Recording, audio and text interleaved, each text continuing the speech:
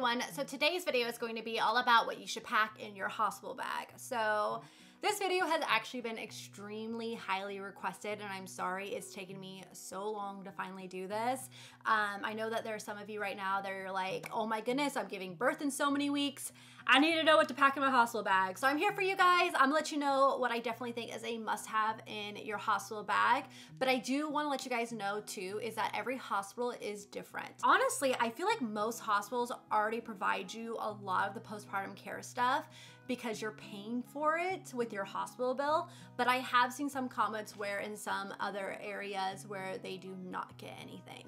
So my biggest recommendation to you guys is when you do your hospital tour, go ahead and ask your tour guide what do they provide for postpartum care? Do they provide the pads? Do they provide the tucks, the cream, the mom washer? Like, do they provide this and this? Make sure to ask them that to see what they do provide, to see what you actually need to pack. For my hospital, they provided everything and I had no idea. So I definitely did pack some of it with me thinking I was gonna need it and I never did. So definitely find out what they provide for you because it will save you from buying double because you're paying for it already. So that way you don't have to make the purchase on Amazon. You can always go back and purchase more when you go home if you need more, but I actually just took some extra from the hospital and I was good to go. I didn't even have to open up a lot of the stuff that I bought.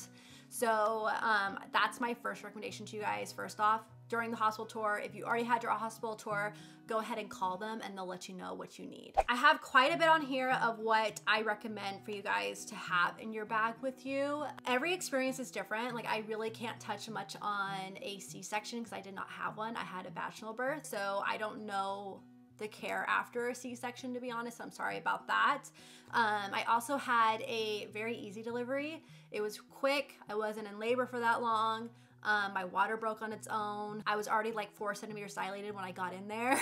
so I had a very easy birth for my first time and I had minimal tearing. So I'm very thankful for that. I honestly thought that was very common, but when I was talking to a lot of family and friends about their experiences, I found out quickly that it's not that common.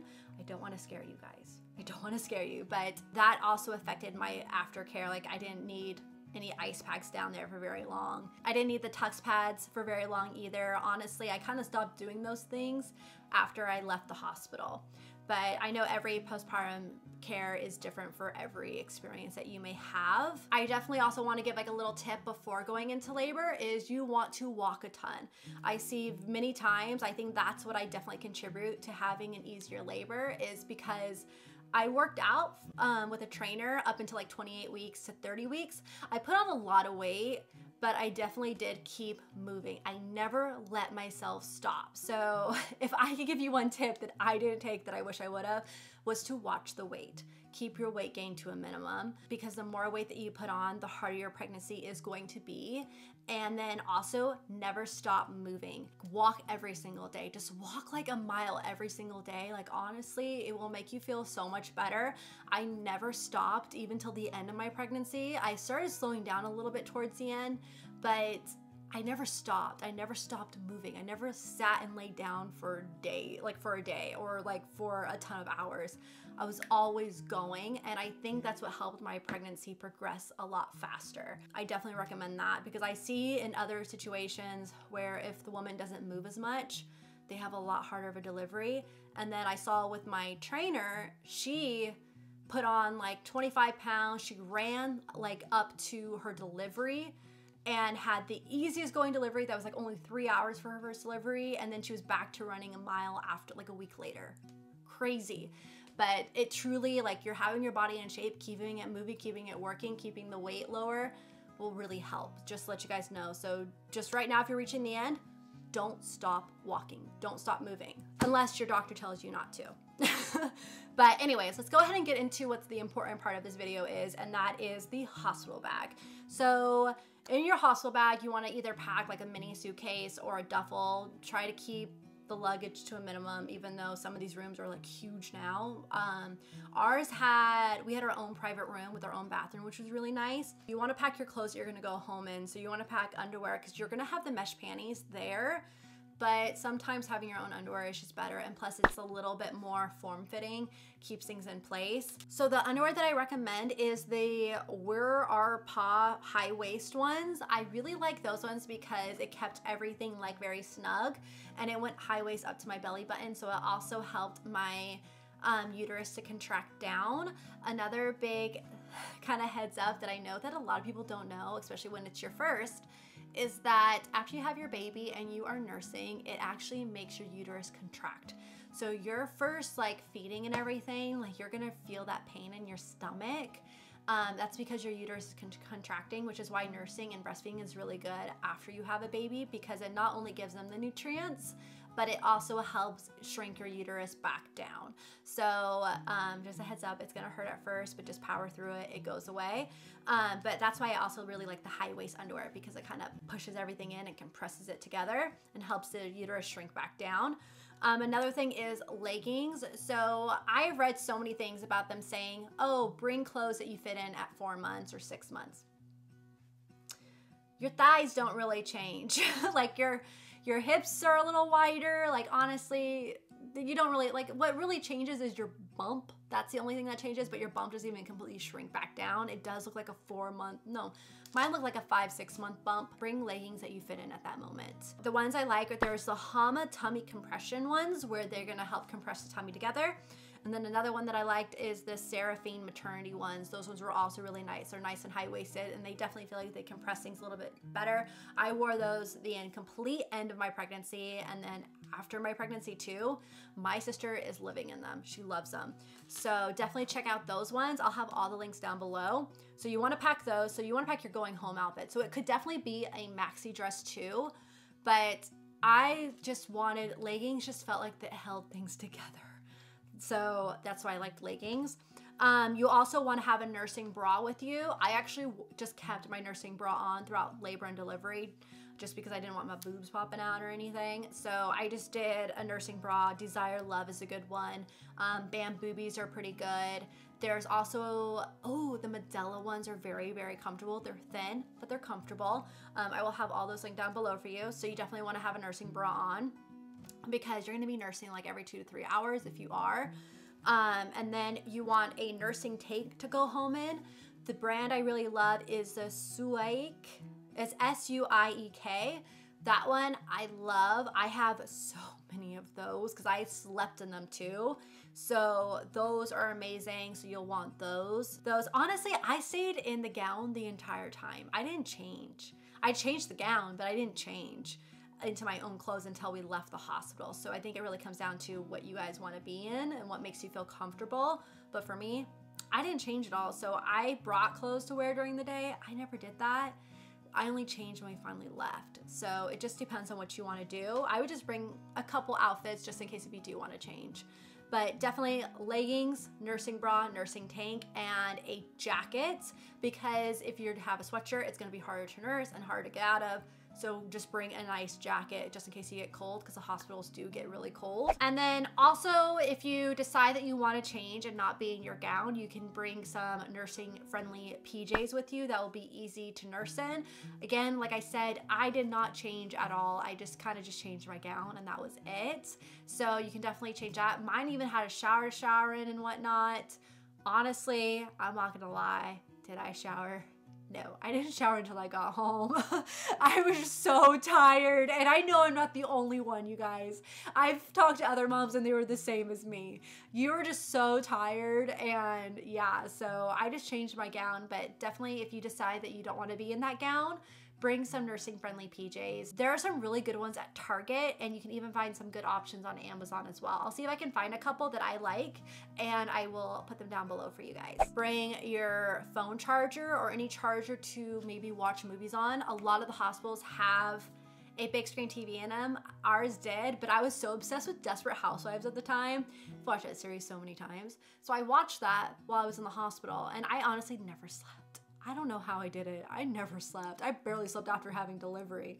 Um, I just want, I was up with her. I, I didn't want to sleep. So, But I watched, uh, I brought my iPad and I watched Desperate Housewives on it. So if you want to have your own option of what to watch, bring a laptop or an iPad or your phone, but bring a charger for it. Definitely recommend that, especially if you have a longer delivery, um, like labor it kind of makes it go by a little bit better to be able to watch something while you're in labor. Another thing to bring is a nipple cream, um, just as a backup if you are nursing and your nipples are just really hurting from nursing, then definitely bring a nipple cream. So one that I recommend is Motherlove.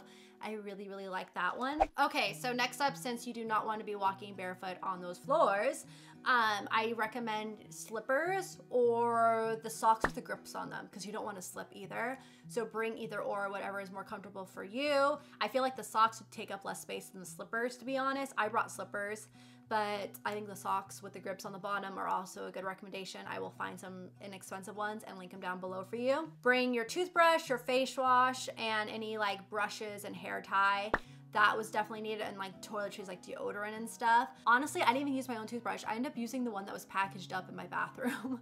I was I was just not about going into my suitcase, you guys. I barely grabbed anything out of there. So mine provided a toothbrush. So I just used theirs. I was just like, yeah, I just was not about going through my bag for some reason. I was so tired. But um, so definitely make sure to pack those, a hair tie for during labor and delivery because you'll want your hair up. For the dads, you guys, I had so many friends tell me this. And then I told Joel, but he did not listen to me and he greatly regrets it. Anyone that he talks to now that is expecting a baby, he quickly tells them this. Bring your own pillow and blanket. because their pillows are so bad and their blankets are so thin. He was so cold, you guys. He was so cold. And I told him, I was like, I didn't feel bad for him because I was like, I told you to bring a pillow and a blanket and you did not listen. And now that is something that he tells everyone. So bring a pillow and a blanket. Us moms, we're super comfy. We get as many pillows as we want, like, because you're using them for nursing and whatnot and I was comfy. I was very, very comfortable, but the dads, not so much. So definitely bring your own pillow and your blanket because again, it gets really cold in there. Next up, bring your going home outfit for the baby. I recommend bringing two sizes. Bring a newborn outfit and bring a zero to three month outfit. I thought my little girl was going to be big. I thought she was definitely gonna be in zero to three months, but that girl, could barely fill out a newborn. She was six pounds, 15 ounces, and then she was 20 and a quarter inches long. So she was tall and very skinny. So she like did not fill out anything, you guys. I actually had to go get more newborn stuff for her afterwards. I had my mom run to Target because I didn't have enough newborn clothes for her. It was crazy. I did not think she was gonna be that little. Yeah, bring two sizes because you don't know how big they're gonna be. That's going to surprise you. All right, so I'm back. I adjusted some settings so the coloring looks a little off. That's why, but I completely forgot about my dog groomer's appointment and I just got the phone call and I was like, oh shoot. I, you guys, no joke, yesterday when I saw it on my calendar, I was like, I just know I'm going to forget it. I just know.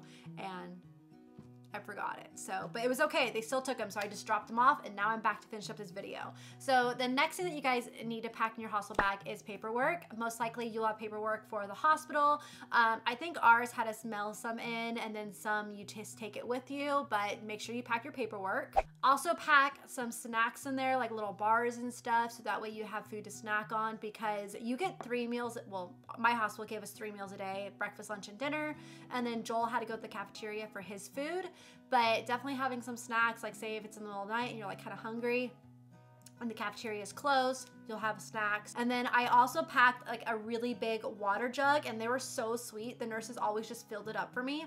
So I was constantly making sure I was drinking enough water. So definitely pack like a big water jug that is like a definite must have. And this next one is actually just an option, but you can pack a couple pads of your own. Like if you want, like the ones I really liked were the overnight ones from Always. They're the Always Maxi. I will have them linked down below, but those ones were really good. I liked it just because I didn't have to worry about going through or anything like that, you know? Um, the ones at my hospital were actually kind of thin, which they were fine because I had this ice pack thing that was big too. So those were okay, but once I went home, I was like, oh, I'd rather have my own pads. So those were the pads that I liked. I also still grabbed a couple extra from the hospital too, but theirs were thinner than those ones. So just pack like, you know, like three or four of them just of your own. So that is everything to pack in a hospital bag. I hope you guys found this video helpful. I will have all the links and everything and the list of all the stuff that you need listed down below in the description box. So make sure to check that out and kind of just make your checklist, you know. Make sure to pack your hospital bag about four weeks before your due date. You don't know how early you're gonna go into labor or how late. Honestly, it's just no one really knows. I had a gut feeling that I was gonna be early and I ended up being eight days early, but I just, I don't know, maybe mom, like you kind of feel it, you know? I felt it. I was like, I'm she's gonna be early. I just knew it. Like, especially when I started losing my mucus plug at 32 weeks, I was like, think she's gonna come early, and I was right. But you just never know, so make sure to have that bag packed. Make sure to have your infant car seat already installed in your car, so that way you're already ready to go. And if you're worried about how to put them in the infant car seat and like tighten it everything, the nurses help you a lot there too. So we had them double check and like show us and stuff just to be sure. You don't have to worry about any diapers or anything. They will have all that for you. They'll have a snot sucker, like the little bulb thing. They'll have thermometer. Well, mine, this is what my hospital had. They had the thermometer. They had everything for us. We did not need anything except for the outfit that the baby went home in. So that's all you really need to worry about the baby stuff. They'll have you covered, you guys. Um, especially also if you end up needing formula, the hospitals will have the formula there for you. So yeah, anyways, so that is everything right there. I hope you guys found this video helpful. If you did, please give it a thumbs up. I am definitely gonna be doing a baby registry one about everything that you need to have on your baby registry. And also, basically, it's gonna be like everything that you should hopefully have before the baby comes to make your lives a lot easier. I have the longest list ever, you guys, for that video. That video is going to be extremely long, but it's gonna be extremely helpful too. I've definitely looked at some of the stuff that I like that was a little bit pricier, so I wanted to find more affordable pieces with it too. So I've been doing tons of research, but stay tuned for that one. That will be coming very soon, but it will be a long one, but it will literally be everything that you need. And it will create like the perfect baby registry for you guys. So definitely stay tuned for that and I will see you guys in my next video.